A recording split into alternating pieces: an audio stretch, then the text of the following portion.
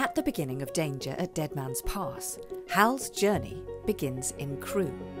But our journey to do the research for the fourth Adventures on Trains book began early one morning in January 2020 at St Pancras International Station in the Eurostar terminal. Sam and I climbed aboard the first of our 10 train journey and took out our notebooks. As we travelled through the Channel Tunnel, under the sea, we plotted and planned what kind of a case Hal would be solving next. When we arrived at du station in Paris, we followed signs for the metro, the Parisian underground network of trains, where we got onto the second train of our trip to Gare de Lyon.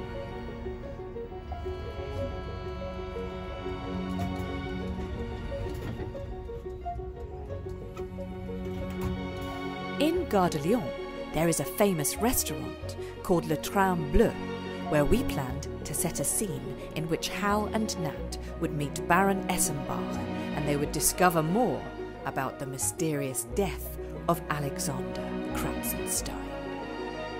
It was time for our third train to Quai de Montebello, opposite Notre Dame Cathedral, and to a very special bookshop called Shakespeare and Company. Having finished gathering French ingredients for our book, we took a double decker tube train to Gare de l'Est, where incredible art hangs in the station. We were to catch a TGV across the German border. Upon arrival in Karlsruhe, we sought out a restaurant for dinner and then returned to the station to catch the night jet. My first ever sleeper train experience, and our sixth train that day.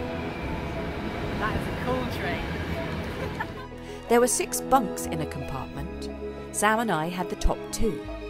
It would have been a fine night's sleep, but for a passenger with a proud snore.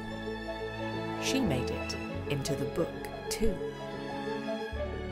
As we slept, the train travelled through Germany. Sam woke me on the approach to Berlin, and once dressed, we ran to the end of the train to witness our arrival.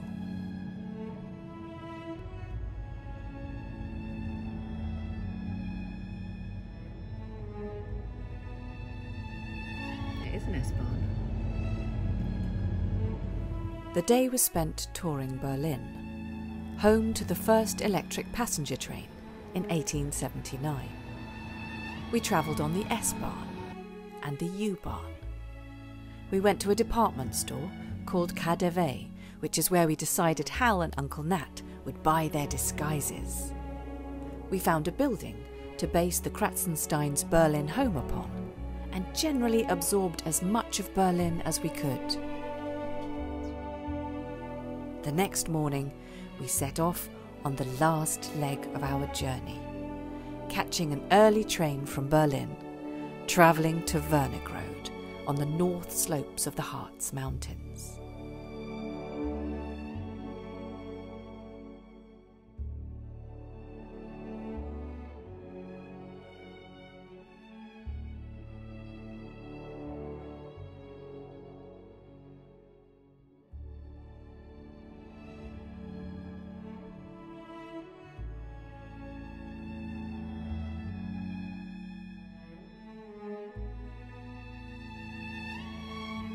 Walking into Wernigerode is like stepping into the pages of Grimm's fairy tales.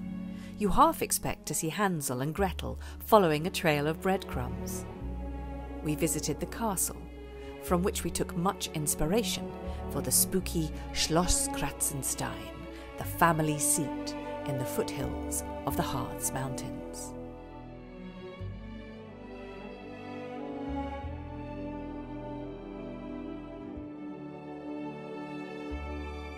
Inside, there were suits of armour, weapons hung on the walls, stuffed boars, and an incredible dining room.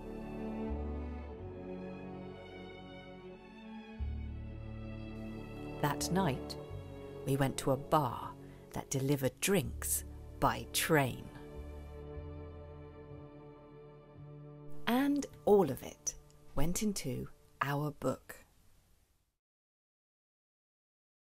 But we had travelled all this way to ride on the Brockenbahn, the last timetabled steam railway in Europe that takes people to the misty peak of the Brocken Mountain, where Goethe set a portion of his famous play Faust, and where, on Walpurgis night, witches are reported to hold revels with the devil.